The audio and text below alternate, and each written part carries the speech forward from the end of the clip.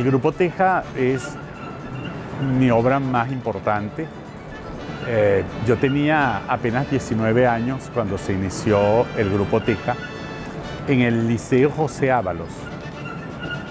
Por eso se llama Teja. La JA es del Liceo José Ábalos en el Valle Coche. En la realidad eh, yo había estudiado teatro en el grupo Teomay con mi primer maestro eh, Edgar Mejías durante cinco años. Luego estuve con Ibrahim Guerra y finalmente mis hermanas, mi hermana mayor, Marían Escalona y Pilar Romero, que estudiaban en el pedagógico, tenían una amiga maravillosa, extraordinaria, que también estudiaba con ellas en el pedagógico literatura y que eh, trabajaba en un liceo en el Valle y ella se llamaba o se llama Isol Toro y les dijo, oye, necesitaríamos hacer algo en el liceo porque hay mucha droga, hay mucha delincuencia juvenil. Entonces ella le dice, bueno, mira, el hermano de Marían, él hace teatro y bueno, podrían montar un grupo de teatro. Y así entro a el liceo contratado por el director a través de Isol Toro, que era la profesora, como también de todas las actividades extracátedras de ese liceo. Y en diciembre de 1973, ya habíamos comenzado en octubre con el inicio de clases, se seleccionan aproximadamente unos 60 alumnos, porque fue impresionante. Casi que la mitad de los estudiantes de cuarto y quinto año se inscribieron. Finalmente quedaron 60 alumnos, de los cuales estrenaron la primera obra, 48, en el escenario y algunos que trabajaban en, eh, en la producción y asistente de dirección y músico, porque además también la obra tenía música. Este, esa obra eh, eh, es la única obra de Pablo Neruda, Fulgor y Muerte de Joaquín Murrieta, y la llevamos al festival, a un festival de teatro liceísta y obtuvimos junto con algunos otros el premio. Y ese mismo año que obtuvimos el premio, eh, Carlos Jiménez, de quien por supuesto era no solamente amigo, sino su admirador, porque ya él había iniciado Rajatabla, decide que iban a abrir, pues, o sea, la segunda edición del Festival Internacional de Teatro de Caracas y decide invitar al Grupo Teja este, como una muestra del teatro estudiantil que se hacía en Venezuela. Evidentemente, eh, como ganamos ese festival, que fue en el mayo del 74, ya en junio vinieron los exámenes finales y ya en julio pues se cerraron las actividades y con mis alumnos hice una, una gira por varios sitios de Venezuela. Hicimos Maracay, Valencia, Barquisimeto y llegamos a Coro y, Maracaibo. Y por supuesto, al año siguiente, el director me dijo, mira, aquí hay un reclamo de todos los padres y dicen que no puedes seguir el grupo de teatro porque tú te llevaste a todos estos muchachos menores de edad por toda Venezuela. Increíblemente, después del Festival Internacional, además, nos invitaron también para algunos festivales en Europa que al final no pudimos asistir porque el Ministerio de Educación no nos quiso dar los permisos porque la mayoría de los jóvenes este, eran menores de edad, entre ellos Juan Carlos Gardier, mi hermana Maigualida Escalona, mi hermana Angélica Escalona, que eran fundadores, Pilar Romero, fundadores todos del Grupo Teja. Tuvimos la enorme eh, suerte de que nos acogió siempre el Ateneo de Caracas, María Teresa Castillo, que era una mujer tan atenta a todo lo que acontecía en el Teatro Nacional y bueno, fue prácticamente una madrina para el Teja. Ella nos acogió ahí en el Ateneo de Caracas y a partir de nuestro tercer montaje, que eh, fue una obra de José Gabriel Núñez, también había sido uno de mis maestros, y, ahí ya este, decidimos prácticamente que nuestra sede era el Ateneo de Caracas. Estuvimos ahí durante muchos años. Luego, evidentemente, hacíamos muchas giras, hacíamos otros teatros, pero siempre estrenábamos en el Ateneo, incluso cuando se cierra la sala grande y solo lo que estaba era la sala rajatabla, a principios de los años 80, todos los montajes del Teja se estrenaban en la sala rajatabla.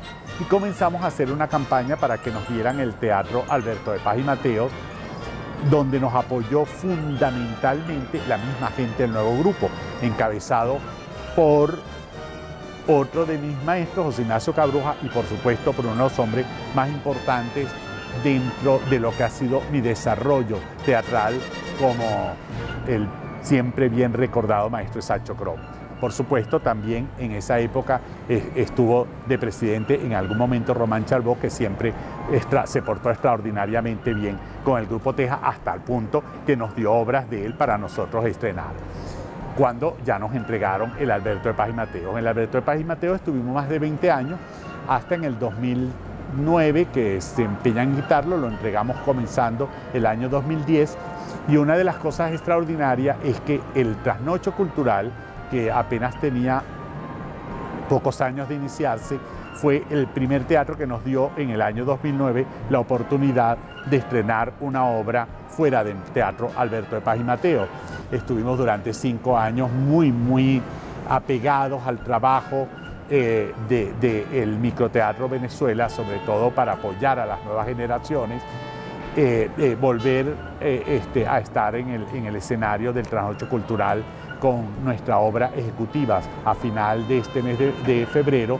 Para nosotros es un gran honor, es eh, un orgullo enorme y por supuesto una eh, enorme gratitud que siempre hemos tenido con este extraordinario espacio cultural. Fue una época extraordinaria, éramos muy jóvenes, éramos un grupo de plus vanguardia, como nos decían, este, un grupo muy agresivo, con un teatro innovador, con una propuesta teatral, ambiental, que eh, era ideal para la sala rajatabla en esa época, porque eran espectáculos donde el público de una forma u otra ya estaba involucrado dentro del mismo espectáculo, formaba parte del espectáculo. Cuando estrenamos a inicio de los 80, en el año 81, Calígula, Una Pasión sin Futuro, el público se sentaba en mesas de ese inmenso bar que era el Bar Roma, donde se desarrollaba nuestra versión de lo que era Calígula. Luego hacemos Salomé, que tenía ese componente del sexo por el sexo, lo cual evidentemente también era muy transgresor, muy atrevido. Y finalmente Marilyn, eh, la última pasión, que tenía que ver mucho con la sexualidad y la historia íntima, la historia familiar, la historia personal de un artista. Evidentemente fueron tres espectáculos, uno por año, con, eh, con un éxito impactante público y de crítica, pero sobre todo porque era rompedor de esquemas y eso como que nos creó esa fama de ser un grupo muy atrevido, muy osado, de vanguardia, vanguardista, pero nosotros siempre preferimos definirnos como un grupo de investigación. Pues yo siempre le explico a la gente que lamentablemente éramos tantos directores que era imposible para el Teja poder hacer 8 o 10 montajes al año. No teníamos esa capacidad eh, económica para hacer eso. Y eso hizo indudablemente que algunos de nuestros directores, escritores, se fuesen separando y fundando sus otras agrupaciones, cosa que siempre nos pareció extraordinario, maravilloso y que además han tenido siempre también no solamente el apoyo, sino este, la gratitud, siempre el compañerismo del Teja también desde el punto de vista de producción.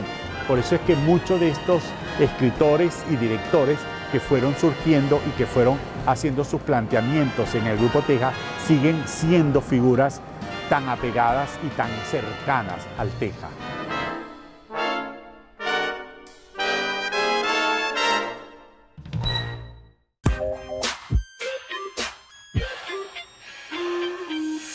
La Galería de Arte Contemporáneo de Berlín, Berlinisch Gallery, nos presenta una exposición individual de una de las artistas más famosas del momento en Alemania. Aunque es polaca de nacimiento, Alicia Kaidet inició su carrera en el país germano y de ahí dio un salto al reconocimiento internacional. Contactamos con nuestra compañera Valentina Torrado de nuestro canal aliado de W Dolce Welle en Berlín para que nos cuente más sobre el trabajo de esta impresionante artista. Muchos saludos desde Berlín y me alegro de estar nuevamente con ustedes. La artista polaca Alicia Quade ha ganado en estos últimos años no solo reconocimiento en Alemania, sino a nivel internacional, donde ha logrado posicionarse en los últimos años.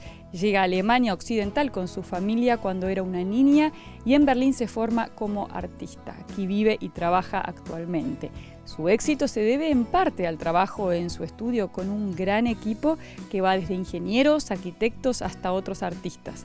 Ha expuesto su obra en prestigiosos espacios como en la azotea del Museo Metropolitan de Nueva York, en la Bienal de Venecia o en el Hamburger Bahnhof de Berlín, entre otros.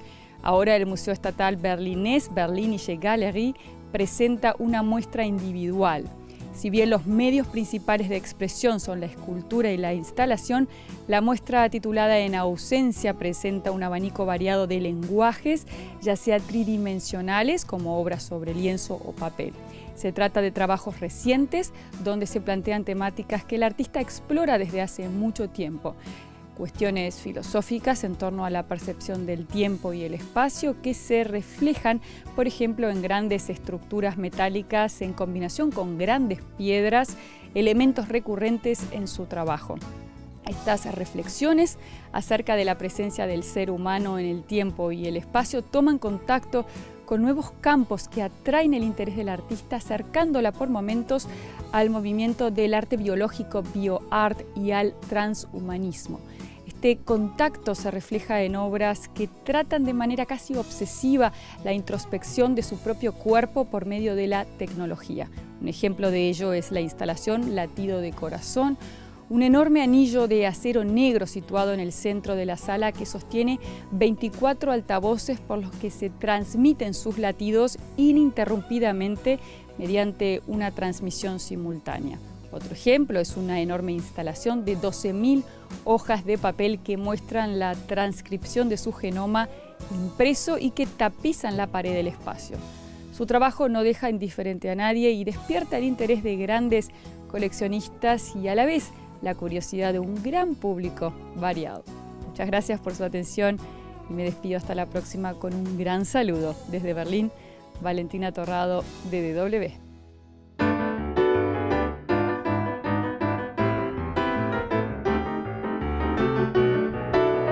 Mi relación con el Teja nace desde que nacieron prácticamente ellos. Eh, recuerdo que yo era eh, ya crítico teatral, periodista cultural y eh, fui jurado del primer festival de teatro liceísta y ahí fue que conocí a José Simón Escalón, a Pilar, a Pilar Romero y comenzó después unas relaciones primero discretas eh, en la católica yo fundé el grupo Autoteatro, después el grupo Autoteatro y Teja también trabajamos mucho hasta que desapareció y al desaparecer yo ya estaba completamente eh, integrado incluso a la junta directiva del grupo Teja. Y fue ahí, en el grupo Teja, cuando comencé propiamente dicho, en 1986, que monté como director, que había actuado en Salomé, pero monté como director el otro de Don Miguel de Unamuno y ahí recibí el primer premio como director y Germán Bendieta se lo ganó como primer actor y Julie, que estaba de colaboradora, también se lo ganó como, como actriz. Y tiene la gran importancia en mi vida, en mi vida artística, el Grupo Teja, es que el Grupo Teja me permitió convertirme en el dramaturgo que soy hoy, porque tuve una posibilidad de desarrollar una dramaturgia y una dramaturgia que estaba al servicio también de un grupo. Ahí estrené su novela romántica En el aire, ahí estrené Showtime, eh, ahí estrené también eh, actos ilícitos, ahí estrené también cinco. E, e, era la posibilidad de, poder escribirla y la posibilidad de poderse llevar a cabo después de, poder eh, llevarse a montaje donde uno se puede medir como dramaturgo, porque uno puede estar escribiendo, escribiendo dramaturgia, pero si no va a escena, eso no es teatro, eso no es dramaturgia, eso era una literatura escénica que quedó ahí y, que nunca se, se sabe cuándo, cuando, como dice Lorca, pues levanta del libro y se hace carne esa poesía. Y eh, después, bueno, de todo el proceso que ya ha contado José, José Simón, al volver a mis manos esta pieza, eh, ejecutivas, en este año 22. Hice una relación pues inmediata con Señoras. Señoras fue un montaje del año 85 con la producción del nuevo grupo. Fue el nuevo grupo que, pues, que la llevó, llevó a cabo. Creo que es la primera vez que José Simón eh, llevaba una obra y montaba una obra, el nuevo grupo de un dramaturgo eh, venezolano emergente, y me llamaron a mí. Primero habían llamado a otro director, no se dio, y José Simón dijo, llamen a Vidal. Yo era un muchacho de 30 años, pues aún no estaba ahí en el tope como director y entonces, bueno, eh, en el programa de mano de ejecutivas lo titulé Todas unas señoras ejecutivas porque claro, Señora es una pieza de tres actrices y esta también es otra pieza de tres actrices eh, que son completamente diferentes, pero tienen ese encanto del teatro de texto. Y es una pieza realmente que va a marcar un reverdecer del teatro de texto después de toda esta crisis de incertidumbre que hemos estado viviendo entre el 22 y el entre el 20, 21 y ahora que está despertándose el 22. Yo creo que el público también ha dejado de, desprenderse de que el teatro también es un, es un espacio y es un tiempo de reflexión, de confrontación, de entretenimiento y también, pero es la posibilidad de verse, ¿no? de, e, ese gran espejo que es el teatro, donde el público se ve reflejado a través de las máscaras de, los personajes. Y yo creo que e, e, esta pieza retoma otra vez esa posibilidad de que el público vaya a ver el teatro también, a escuchar. Como decía Aristóteles, el teatro es para escuchar, es decir, lo importante del teatro es lo que se dice. Y esta es una obra ejecutiva, es una obra cuya importancia está en el buen decir y el mejor estar de las actrices. Una de las cosas que eh, hemos aprovechado este tiempo de la pandemia en el mejor sentido, es decir, al no poder estar sobre el escenario, decidimos rescatar toda la memoria del tema. Nosotros teníamos una página, la web grupoteja.com, pero nunca nos habíamos abocado a que ella se convirtiera en un verdadero espacio de encuentro.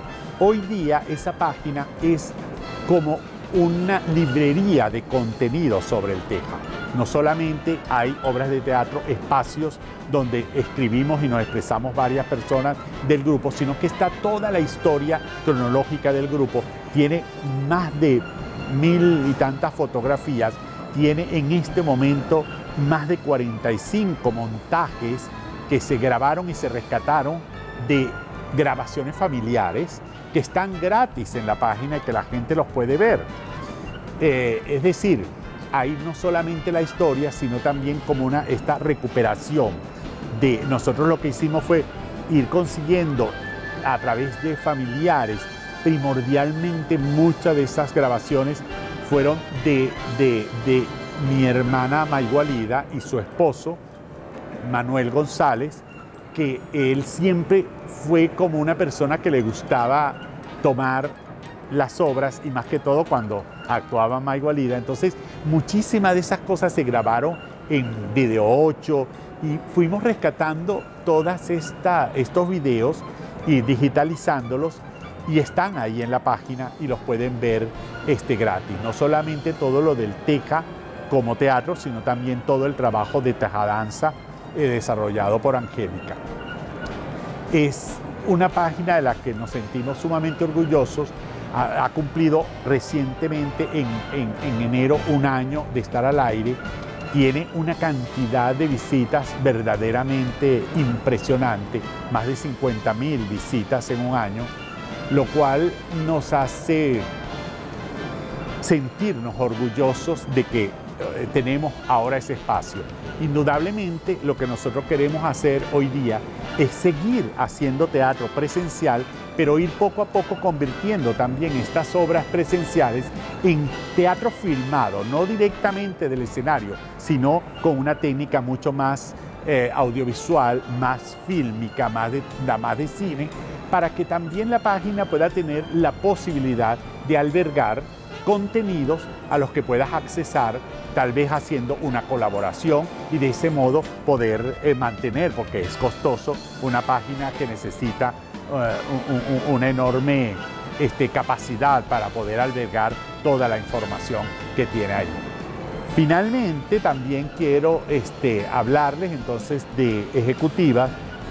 Es una obra que escribí aproximadamente en 2009 y que por muchísimas razones, no solamente lo de cuando entregamos el teatro, sino que en algún determinado momento intentamos hacerla, luego nos dedicamos al teatro, este, eh, como les decía, al microteatro Venezuela. Hicimos también un montaje este, nuevo eh, para, para el trasnocho en la sala plural y como que siempre la fuimos atrasando hasta que finalmente hace dos años y medio, en el, 2019, eh, pensábamos hacerla y bueno, pasó todo lo que ha pasado y siempre quedamos como que bueno, tenemos que abrir y comenzar nuevamente nuestras actividades con esta obra. He tenido la inmensa suerte de que cuento, por supuesto, con el impulso que siempre da mi hermana Angélica como productora y la maravilla de tener a Javier Vidal,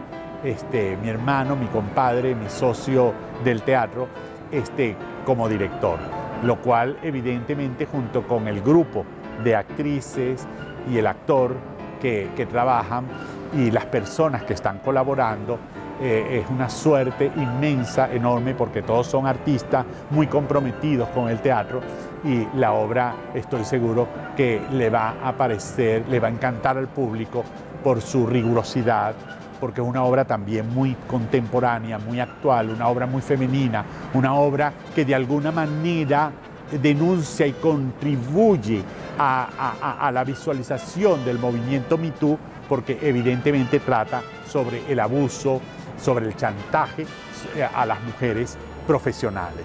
Me inicié con el grupo Teja en esos años 74, ya casi vamos a tener 50 años. Estuve en los primeros montajes, eh, siempre estuve del lado eh, ayudando a José Simón en cómo manejar actores. En esa época yo estudiaba danza y por tener la experiencia de estar este, estudiando danza, José Simón me pidió que lo, que lo ayudara.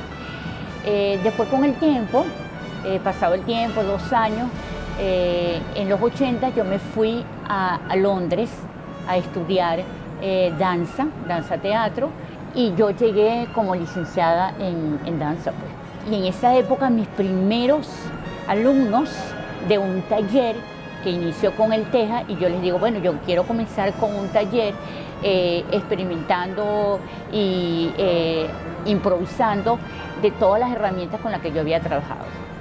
Por supuesto, mis primeros alumnos eran Javier Vidal, Xiomara Moreno, Javier, eh, Javier Moreno, que en paz descanse, que fue uno de mis grandes cómplices.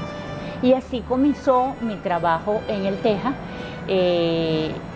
formalmente ya como la maestra de danza, eh, la maestra de movimiento y comencé a hacer un trabajo de, eh, investigación de cómo hacer que los actores, sin tener una técnica, digamos, formal de danza, pudieran moverse mucho mejor que de lo que podían hacerlo eh, en un entrenamiento físico.